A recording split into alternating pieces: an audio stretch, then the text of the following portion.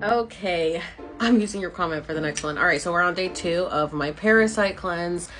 I told you guys I'm gonna be doing this daily diary for 30 days while I do this parasite cleanse. So let's go over day one. Um, right after I took them, straight to the bathroom I went. Okay. Um, I don't have an issue going to the bathroom. So I'm like, is it the drops? Is it me? Is it normal? I don't know. Um, I will say that we're gonna get a little TMI here because I'm giving you guys an honest review. Um, it was softer stool than usual for sure. And also, if you think you're just gonna pass gas, don't trust it. don't trust it. Go to the bathroom. Okay, that's all I'm gonna say. So, because those are some of the symptoms that I was getting, Kim recommended that I take the Cinnabon, Cinnabon, Cinnabon.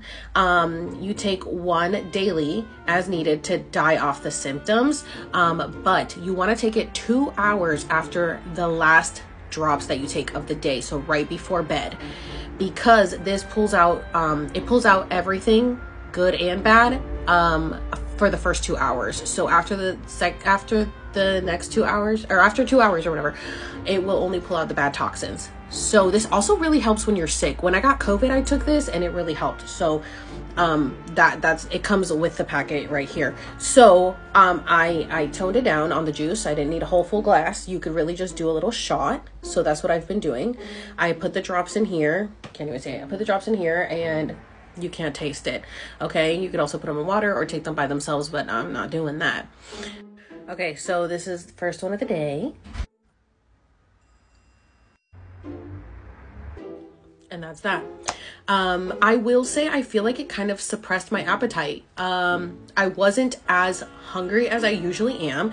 And also, I woke up with a headache, and I don't know if that was symptoms from that or if it was because I didn't eat as much as I usually do because it suppressed my appetite. So I'll definitely be taking this tonight before bed to subside any symptoms that I may get. Some people said that they've gotten like fever, chills, whatever, because your body is cleansing out. So make sure you've separated time um, and you are near a bathroom or anything when you're doing these cleanses. Like I, I did it when I know I'm not going on vacation because I just don't want it to ruin my vacation. You know what I'm saying? So we're on day two. Let's see how the rest goes. If you guys are interested in getting your parasite cleansing kit, click the link in my bio, go on parasite kit. The code is already applied, but if you want to apply it just to be sure, it is Alex Serves. And I think you get like 10% off. So, okay, day two. Yay.